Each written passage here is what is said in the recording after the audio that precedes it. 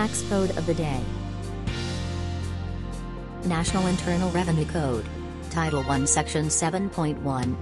Authority of the Commissioner to delegate power.